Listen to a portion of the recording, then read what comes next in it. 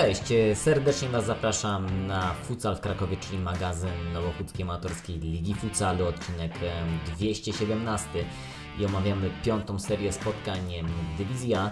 Rozpoczynamy od hitowego pojedynku pomiędzy wicemistrzem, czyli Glomenem i rodzinnymi restauracjami, a mistrzem ligi, czyli Banerges. Również są to finaliści Pucharu Ligi w poprzedniej edycji i tutaj ten mecz e, zapowiadał się przynajmniej na papierze fenomenalnie. A e, jak e, się zrealizował? No zaraz zobaczycie. Generalnie e, bardzo dobrze rozpoczął, rozpoczęli synowie Gromu, e, ale warto nadmienić, że mieli tylko jednego zawodnika na ławce i nie było tam e, Marcina Kluzy. To jest sytuacja Dawida Łęckiego, ale e, Oracz obronił to uderzenie. Potem e, sytuacja drugiego z braci e, Łęckich, e, potężne uderzenie Konrada Łęckiego trafia w słupek. I dopiero wówczas do ataku ruszyli gracze Iglomenu. Ścieżka na lewą stronę do Daniela Suchana i zawodnik e, Wisły Opatowiec uderzył bardzo mocno, ale znakomicie e, interweniował e, bramkarz e, Dawid Miazga, a, a wynik otworzony został w minucie czwartej. Konrad Łęcki zagrywa rzut rożnego do Damiana Cebuli robiliśmy 1 do 0, ale błyskawiczna odpowiedź Daniela Suchana który wykorzystuje podanie od, Dani- od Dariusza Nowaka. Dariusz Nowak po chwili zagrywa piłkę do półtoraka, e, przepraszam, do Suchana, ten dogrywa piłkę pół, e, półtorakowi, jest 2 do 1, ale Banerges bardzo szybko odpowiadają, e, Konrad Łęcki tym razem już się nie myli i mamy 2 do 2. Iglomen po raz kolejny wyszedł na prowadzenie w minucie 12. E, Uderza z dystansu Suchan, a e, do odbitej e, piłki dopada ogonek i jest e, 3 do 2. Iglomen e, mógł szybko podwyższyć e, prowadzenie, zatańczył z piłką Daniel Suchan, ale jego uderzenie w cudowny sposób e, obronił Miazga. Ale w- co się odleczy, to nie ucieczy. Minuta 16. E, Gracze Synów Gromu zagapili się, a Dariusz Nowak wykorzystał to bez litości i mamy e, 4 do 2. Potem mamy festiwal niewykorzystanych sytuacji, i chyba najlepszy okres gry e, Boanerges. E, Tutaj mamy próbę e, Konrada Łęckiego. E, Po chwili e, próbował jego brat Dawid. A tutaj głównym motorem napędowym e, akcji e, Synów Gromu był właśnie Konrad Łęcki, który tutaj trafił tylko e, w słupek. Mm, Po chwili kolejna dobra kontra. Dawid Łęcki do Konrada Łęckiego, ale ten nie dogadał się z Błońskim i piłka do siatki nie wpadła. E, W końcu gracze Banerges dopięli swego w minucie 20. e, Cebula podaje do Łęckiego, który fenomenalnym, bardzo mocnym strzałem sprawia, że Banerges łapią kontakt. Ale w drugiej połowie e, mistrzowie ligi coraz bardziej słabną, a tutaj w słupek trafia Dariusz Nowak. Po chwili mamy również dobrą sytuację, w której dwa razy próbował Suchan. E, Najpierw jego strzał zostało obronione, potem piłka znowu wylądowała pod jego nogami, ale i tym razem e, Miazga wpisał się e, bez zarzutu. W odpowiedzi gracze Banerges mogli doprowadzić do remisu, ale nie najlepszy strzał w tej sytuacji oddał Błoński, a w odpowiedzi poszła kontra, w której swojego gola mógł zrobić, zdobyć Mariusz Stanula, ale nie trafił w bramkę. E, Natomiast bramkę trafił już w minucie e, 30 Kacper Półtorak e, i Glomen objął prowadzenie e, 5 do 3. Gracze e, synów gromu, gracze mistrzów próbowali e, jak mogli. Tutaj znakomita sytuacja Cebuli, e, ale Oracz e, znakomicie obronił tę sytuację. I w minucie 38 e, Ogonek ślicznie zagrywa piętką do Michała Ścieżki i jest e, 6 do 3. Nie można mistrzowi e, odmówić ambicji, e, walczył do końca. Tutaj e, mamy kontrę i znowu ładna ruleta Konrada Łęckiego, ale strzał niecelny. A ostatnia sytuacja w tym meczu to sytuacja, po której drugi raz na listę strzelców mógł wpisać się Michał Ścieżka, ale piłka po tym ślicznym lobie trafiła w poprzeczkę. Yy, ostatecznie Iglomen i rodzinne restauracje pokonują e, mistrza ligi e, Banerges 6 do 3 i to znaczy, że Banerges po mm, pięciu kolejkach mają raptem 6 punktów. E, Drugim pojedynkiem było starcie Brotermu z Legionem, e, starcie dwóch drużyn, które przed tym meczem miały e, 9 punktów i zapowiadało się tutaj e, bardzo ciekawe spotkanie. E, to, że jedna z trzech drużyn, która współliderowała przed tym meczem, nieco oddali się od innych ekip. Tutaj pierwsza próba należała do Dimy Nazarowa, ale strzał był obroniony. Potem mamy piękny odbiór Tretiaka i drugi raz próbuje Dima Nazarow, ale broni Hamryszczak, ale wynik zostanie otwarty w minucie siódmej. E, Turow odbiera piłkę Rajcy e, i uderza obok Hamryszczaka. Jest 1 do 0, do 0 dla Legionu, a potem piękny rajd e, prawą stroną przeprowadza Worobec e, i z ostrego kąta e, pokonuje Hamryszczaka. Jest 2 do 0. E, Gracze Brotermu e, nie poddają się i bardzo szybko e, odpowiadają.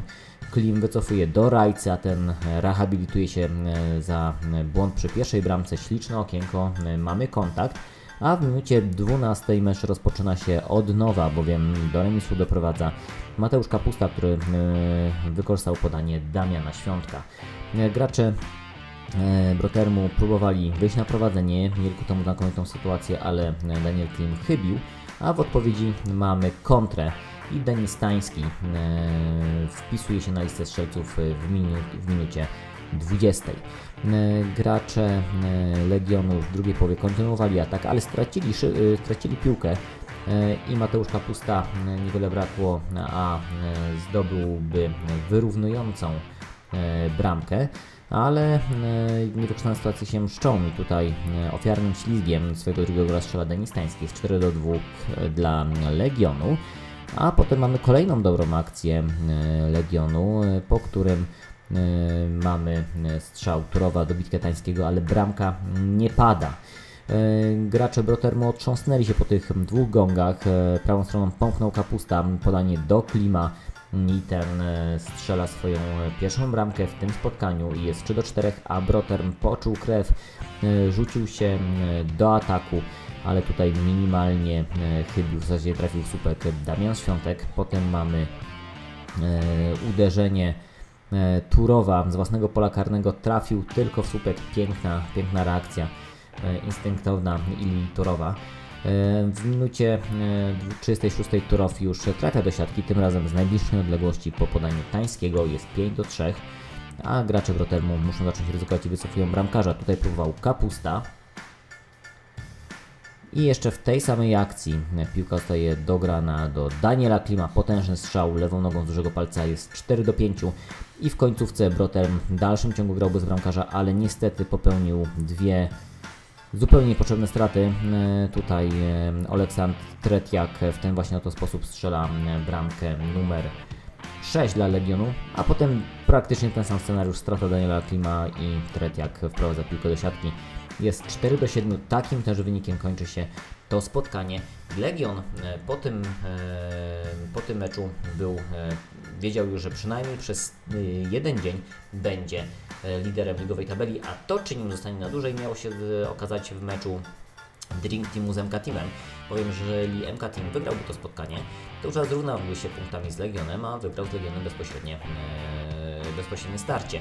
Mecz ten e, był komentowany transmitowany na żywo na kanale Ligi. E, miałem go przyjemność komentować z Dawidem Michnowiczem, dlatego tradycyjnie e, uraczę Was fleszem z tego spotkania z właśnie naszym komentarzem. Dodam tylko, że Drinki oczywiście tutaj nie miało zamiaru odpuścić, bowiem od tych punktów zdobytych z silniejszymi rywalami ważą się, waży się ich ligowy byt. E, że Ale może za chwileczkę, bo pierwsza akcja, tak, bo Drink teraz Teamu, Krzysztof Krzysztof Olewicki, Olewicki, jest gol! gol! Jest indywidualna e, wymusza na MK Teamie mm, atak pozycyjny, a Drink Team uwielbia grać przeciwko atakowi pozycyjnemu, ale teraz Maciej Szubartowski! I jest gol! I jest Eee. gol! Kapitan e, Drinkum tym Adaś Żaba, czysto trafił w piłkę. Jak na razie z rozpo, roz, e, mecz się rozpoczął nam fenomenalnie, ale Powiedzieć, że sprytny plan MK Teamu e, poszedł, ale teraz Rajek i też ślizgiem broni e, Stolarski, bo okazuje Chyba to było najsensowniejsze rozegranie, trochę piła pochodzi. Chociaż my tutaj z Dawidem chyba nie mamy nic przeciwko temu, żeby to, ten mecz się toczył w takim Potrzebne samym punkty. tempie jak e, z przeciwnikami teoretycznie e, słabszymi. No a teraz Karaś e, broni szala. Impet zwalił z nóg e, Darka Rajka.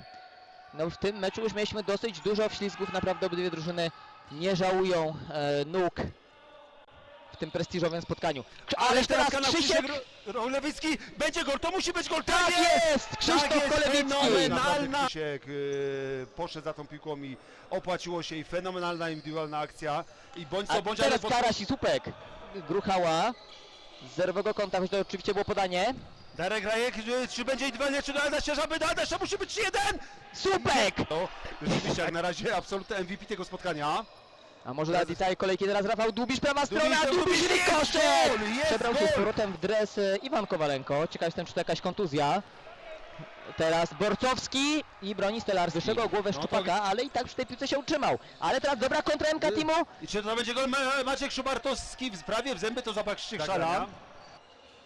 I Dominika Raś. Do Rafała Grucha, Rafał y, Gruchała, no dobry strzał, mimo tam y, ofiarnego wślizgu Marcina Włodarza. Dominika Raś, do Marka Szczupaka. Na plecach ma Adasia Żabę, a teraz Rafał Gruchała i to mogło zaskoczyć Krzyszka Szale, który miał Dominika Raś, czy indywidualnie, czy coś, czy coś spróbuje zrobić. Jednak tutaj do Marka Szczupaka, ale tutaj, ale Aby ofiarny Adaś- wślizg. y, Żaba stracił piłkę. Ale Maciek e, Szubartowski jest gol! Jest! Czy Rafał będzie uderzał, czy podawał do Dominika? Chyba do Dominika, tak. Dominik yy, yy, doniósł po podaniu Rafała Gruchała, ształu. tylko Krzyśka Szali, w który róg mam ci strzelić. Ale może teraz Marek yy, Szczupaki zasłonięty, Krzysiek Szala na róg wybija piłkę. Marcina Włodarza, ale ten yy, niecelnie. I ponownie Rafał Gruchała do, Ma- do Nika Karasia. Rafał Gruchała i jest gol! Jest gol! Ale tak Rafał na razie asyst Dominika Raś. Czy będzie hat-trick Krzyśka Alowickiego? Bo wydaje mi się, że będzie strzelał. Tak jest! i Tak, jest! gol! Jest Ja gol! teraz e, Jest Krzysiek Cholewicki stracił piłkę, bardzo rzadki obrazek. Ale teraz urwał Włodarz, naprawdę. Prawidłową oglądałem e, e, mecz e, Fogo Ekstraklasy, czyli e, najwyższej klasy rozgrywkowej futsalu w Polsce. To ja myślę, że tutaj u nas no, wielu zawodników no, grzałki by mi się przepalił po pięciu minutach. Teraz Szubartowski. I mówi, czy któraś z drużyn jeszcze się udaje przechylić szale na swoją stronę. Myślę, że tak. Myślę, że patrząc teraz mają 6 minut do końca spotkania. Strony się Teraz szukać I wyjaśnia Zaskiego. Cholewicki, a teraz Adam Żaba. Adam Żaba z Dominikiem Dońcem.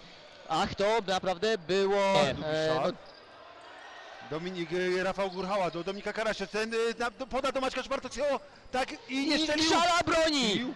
Nie A teraz Rafał Dubisz i czy to się zemści, czy to się zemści Rafał Dubisz, ale kto broni? No Maciek Szubartowski. Rogowski, Maciek, 20 do końca spotkania, wy, wynik cały czas y, nierozstrzygnięty czterczerek. Jest rzut karny, jest y, rzut karny. Widzimy tutaj rzut karny będzie wykonywał Dominik Karaś. Dominik Karaś czy Krzysiek Szala. Dominik Karaś czy Krzysiek Szala i jest gol. Jest gol. 5 do 4. Toski 30 sekund do końca spotkania. No w 20 sekund drużyna MK y, Drink Teamu dała sobie wydrzeć ten remis. I Rafał y, Dubicz, który zastąpił y, Krzyśka Szale, ale czy to będzie przypieczętowanie Dominika Raś do Maćka Szubartowskiego? Jak widzieliście Państwo, wynik zdecydowanie nie oddawał tego, co działo się na boisku. Rzut na taśmę MK wygrał e, 7 e, do 4. Ostatnim pojedynkiem był pojedynek dwóch drużyn, e, które są bezpośrednimi rywalami e, o utrzymanie motyli o aptekarzach i e, zębatkach. Zapraszam na skrót meczu e, Dragonów e, z e, ekipą Enchy. E, Ciężko było wskazać faworyta e, tego meczu. E, Rozpoczęło się od bardzo dobrej e, sytuacji działowego, ale Kisiel, który był twarzą szczęścia, które w tym meczu miało, miała NH, obronił to uderzenie. W odpowiedzi mamy strzał kuli, kontrę, po której e, m, Kisiel broni strzał Rogurza. Tutaj były kontrowersje, czy piłka trafiła Kisiela w rękę. Ostatecznie m, z- m, Kisiel został na boisku, a potem mamy Bramkę Górka podaje do Wasyla Kuli i ten raz swoją debiutancką bramkę e, w ekipie Zębatek. NH mogła szybko odpowiedzieć, e, bowiem e, dobrą sytuację miał Bożek, ale przytomnie Płatek obronił uderzenie. Po chwili mamy kontrę Enchy, stratę, po której jest rekontra. Znakomitą sytuację miał działowy, ale źle uderzył piłkę. W odpowiedzi NH stwarza sobie kolejną sytuację już w drugiej połowie. Mamy dogranie Bożka na długi słupek, niewiele brakło, a przeciąłby tą piłkę. A w minucie 24 w końcu mamy gola. Basel Kula podaje piłkę do Tomasza Kopcia, który podwyższa na 2 do 0 i po raz czwarty w tym sezonie NH prowadzi 2 do 0 w meczu. A potem mamy faul na kubie działowym w polu karnym. Poszkodowany wykonywał rzut karny, ale fenomenalnie Marek Kisiel złapał to uderzenie i w dalszym ciągu NH prowadziła 2 do 0. W 27 minucie Płatek rzuca piłkę do Rogurza, a ten obraca się z nią i strzela bramkę kontaktową i mecz jeszcze bardziej staje się jeszcze ciekawszy. A e, gracze e, Enchy mogli po, mogli po chwilę prowadzić 3 e, do 1 i tak też się stało, kiedy gola strzelił Wasyl Kula. Gracze mm, aptekarzy wsiedli na rywalu wysokim pressingiem, tutaj odzyskał piłkę E, działowy, ale z linii bramkowej wybił ją głową e, Sebastian Rachwał. E, a potem mamy piąte przewinienie mm, Enchy. Przedłużony rzut karny wykonuje Patrick Sadlak, ale jego uderzenie trafia w słupek i w dalszym ciągu jest 3 do 1 dla Zębatek. Dragony nie rezygnowały. Przed szansą stanął Mateusz Przesur, ale jego uderzenie również trafiło w słupek. Tak jak mówiłem, Echa miała niesamowite szczęście, ale szczęścia już nie miała, kiedy uderzył z dystansu Krzysztof Zaczyk i Dragony złapały kontakt. Końcówka to prawdziwa karuzela i ogromne emocje. E, rozpoczęło się od dobrego dogrania Pietrańczyka, a potem e, dobijał Zaczyk, ale niecelnie. W odpowiedzi NH również miała swoje sytuacje, e, bowiem przed szansą stanął Mykoła Petkun, ale Tomasz Płatek obronił jego uderzenie. Mm, a potem jeszcze w samej końcówce Wasyl Kula znakomicie nagrał piłkę do Tomasza Kopcia, ale Płatek po raz kolejny był na posterunku i ostatecznie e, ten mecz e, zakończył się wynikiem 3 do 2 dla Enchy, która odnosi drugie zwycięstwo w bieżącej kampanii, a Dragony muszą przełknąć po raz piąty e, gorycz porażki. I podsumowanie wyników piątej serii spotkań w Dywizji A. Iglomen i rodzinne restauracje pokonują Boanerges 6 do 3, Broter ulega Legionowi 4 do 7, w takich samych rozmiarach Drink Team przegrywa z MK Teamem, a Dragony po bardzo emocjonującym meczu ulegają zębatkom Zenchy 3 do 2. Zobaczmy jak przedstawia się e, piątka e, piątej kolejki. W bramce mamy po raz trzeci już w tym sezonie Marka Kisiela e, Zenchy, który za bycie personifikacją szczęścia Enchy w meczu z Dragonami zostaje graczem kolejki. E, mamy również w piące kolejki już w polu drugiego z graczy mianowicie Wasyla Kule, e, który po raz pierwszy ląduje w piące kolejki i również po raz pierwszy w piące kolejki mamy Daniela Suchana, gracza Iglomena e, i rodzinnych restauracji. Natomiast pozostałych dwóch graczy to już stali bywalcy. Piątki kolejki Dominik Karaś z MK Teamu jest z nich po raz trzeci, a Ilia Turow z Legionu po raz czwarty. Zobaczmy jak przedstawia się ligowa tabela. Po pięciu kolejkach e, mamy dwóch współliderów MK Team i Legion, które do tej pory zgromadziły dwa, po 12 punktów, e, ale ze względu na to, że bezpośrednie spotkanie między tymi drużynami wygrał MK Team, to on w tym momencie jest e, liderem. Na najniższym stopniu podium mamy Igloman i Rodzinne Restauracje, które zgromadziło 10 punktów, a na czwartym miejscu mm, Broterm, który punktów ma 9. Potem jest coś, w co bym nie uwierzył, jakby ktoś mi powiedział przed sezonem. NH jest y, wyżej niż aktualny mistrz, Zębatki zgromadziły do tej pory 7 punktów, a Boanerges po poniesieniu trzeciej porażki w bieżącej kampanii są na miejscu szóstym z sześcioma punktami i co ciekawe NH w tym momencie ma najlepszą obronę w dywizji A. W strefie spadkowej mamy graczy Drink Teamu, którzy do tej pory zgromadzili 3 punkty oraz aptekarzy z Dragonów, którzy jeszcze nie zdobyli punktu. Za tydzień będziemy rozgrywać spotkania szóstej kolejki i rozpocznie się od starcia Enchy z Brotermem. Zobaczymy, czy tutaj E, wygra najlepsza defensywa ligi, e, czy też drugi najlepszy atak. E, to spotkanie zobaczycie na żywo na kanale naszej ligi. Serdecznie Was zapraszam na transmisję, jeżeli nie będziecie mogli okazji widzieć tego meczu na żywo na hali. Kolejny pojedynek to jest pojedynek zespołów, które w tym momencie są na podium. Lidera i trzeciej drużyny MK Team i Glowen Rodzinne Restauracje zmierzą się o 21.30.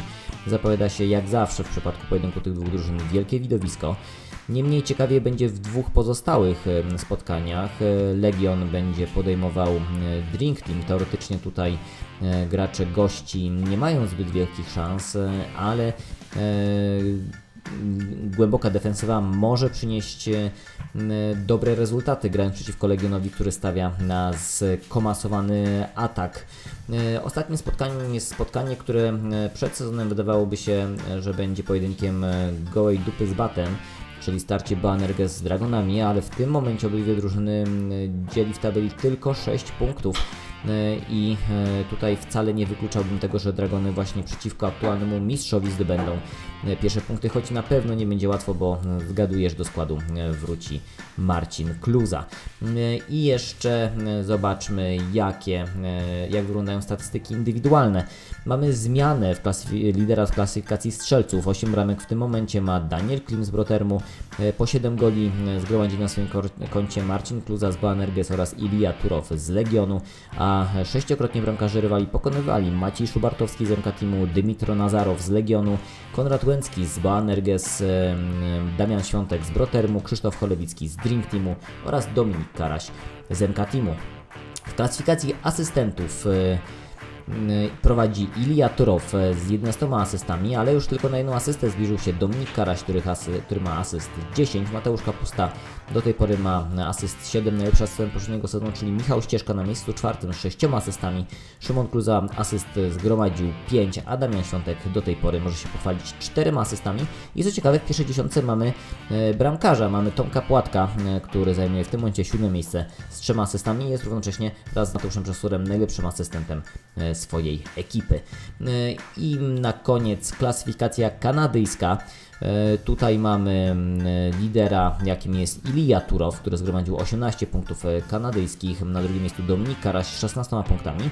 A potem mamy 4 graczy z 10 punktami i 3 graczy to zawodnicy Brotermu. Mowa tutaj o Mateuszu Kapuście, Damianu Świątku, Danielu Klimie, e, a czwarty do brydża to Michał Ścieżka.